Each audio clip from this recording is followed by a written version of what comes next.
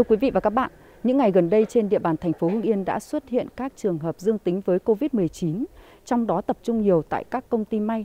Vậy các công ty đã có những cái giải pháp như thế nào để vừa ổn định sản xuất, vừa đảm bảo công tác phòng chống dịch?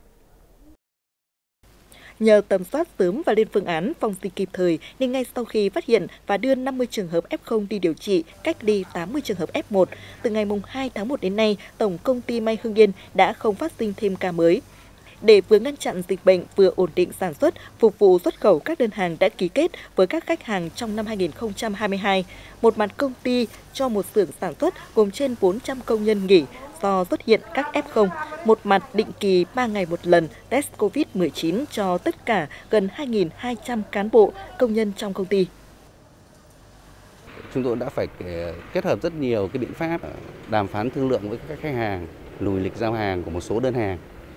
rồi ờ, điều động cái đơn hàng sang các đơn vị bạn để sản xuất giúp. Bên cạnh đó thì là chúng tôi cũng phát động cái phong trào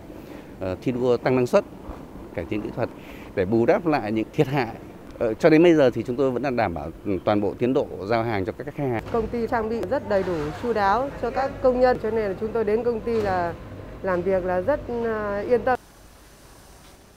Nhận thấy tình hình dịch bệnh diễn biến phức tạp tại một số địa bàn thành phố Hưng Yên để đảm bảo sức khỏe cho 850 cán bộ nhân viên và ổn định dây chuyền sản xuất phục vụ xuất khẩu, công ty cổ phần may Hưng Long 2 đã tuyên truyền để người lao động thực hiện nghiêm 5K, làm bản cam kết không ra khỏi địa bàn vào thời điểm hiện tại, thành lập các tiểu ban phòng chống dịch bệnh, chủ động nhập nguồn nguyên liệu dự phòng tới tháng 6 năm 2022, đồng thời lên phương án sẵn sàng đối phó khi xuất hiện dịch bệnh.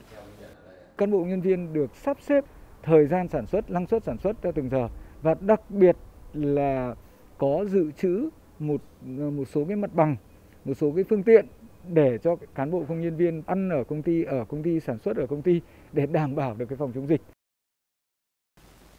Từ ngày 3 tháng 11 năm 2021, trên địa bàn thành phố Hưng Yên xuất hiện 401 bệnh nhân dương tính với SARS-CoV-2. Trong đó, chỉ tính riêng từ ngày 30 tháng 12 năm 2021 đến nay đã xuất hiện 101 bệnh nhân tại các công ty may như Công ty Cổ phần May Hưng Yên, Công ty May Phú Tân, Công ty Cổ phần May 2 Hưng Yên và 24 mẫu nghi ngờ dương tính của Công ty May Kim Toàn.